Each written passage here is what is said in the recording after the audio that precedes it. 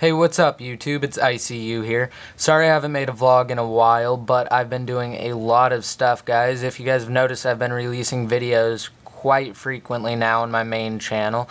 And I'm just going to let you guys know what's been going on, because a lot of stuff has happened recently. So, first of all, an untethered jailbreak for iOS 4.2.1 for all devices is on its way. Now, this has been confirmed by both Comex and MuscleNerd, and there's even a video demonstration of a newer device booting up with Cydia capabilities. So that is awesome, guys. That is on its way really soon.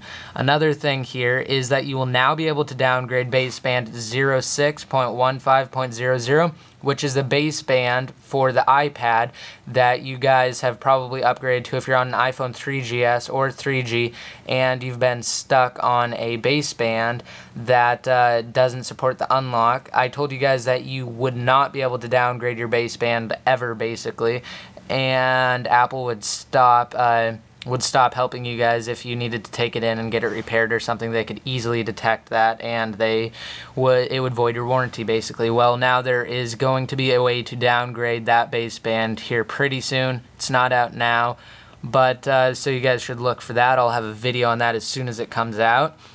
And uh, this one is basically just saying again that Comex confirms a 4.2.1 untethered jailbreak release before Christmas 2010 because someone asked, I want 4.2.1 jailbreak for Christmas. And then he said, you will get it. So that's sweet, guys. Uh, so that's just a huge thing for us to all look forward to.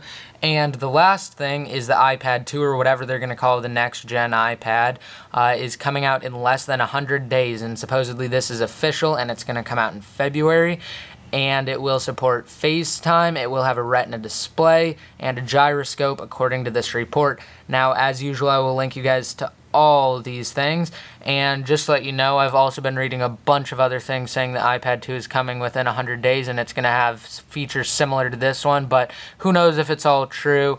Uh, I will have some more details on it when it is released, uh, or when the details are released. So yeah, guys, just rate this video, comment, and subscribe. This is ICU signing out.